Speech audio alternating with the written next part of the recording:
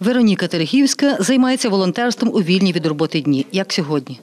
Я встаю там в 6 ранку і готую до 12, і воно вистигає, бо гаряче не заляєш. Вже приблизно в 2 часа ми починаємо розвозку. 30 порцій.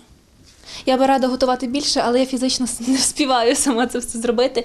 Тим більше от такі кастрюлі, вони 30-літрові. У мене їх тільки дві. На обід показує Вероніка дві страви. Ми стараємося, щоб і на перше, і на друге завжди було щось м'ясне. Основна маса продуктів це ті, які дають люди.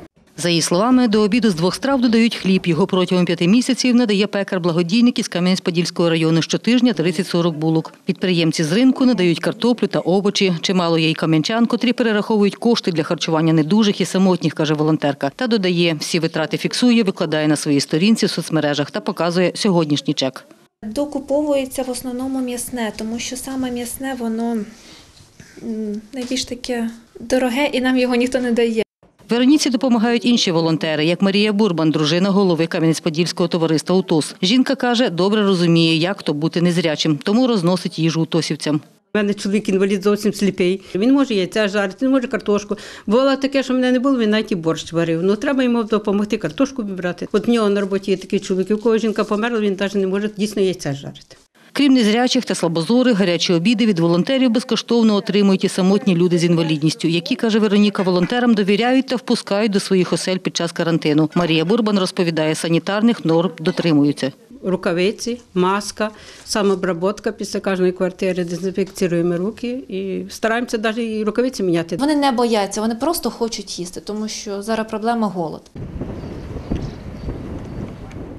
Перший гарячий обід Вероніка несе сьогодні 79-річній Мадлені. Жінка мешкає з хворим на ДЦП сином і каже, гарячі страви вони їдять нечасто. Я не можу сама підготувати е, е, сама вже, вже давно, я давно не можу підготувати е, сама їжу, навіть не можу холодильника відкрити.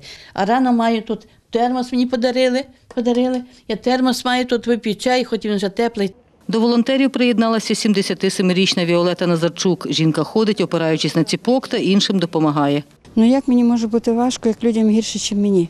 Є такі лежачі, що вони, ну ви бачили, є такі люди, що чекають. Крім їжі, волонтери розносять захисні маски. Тканину для них безкоштовно надала підприємиця, а кравчиня також безкоштовно пошила 400 тришарових масок. Світлана Поробок, Іван Мовчан. Новини на Суспільному. Хмельниччина.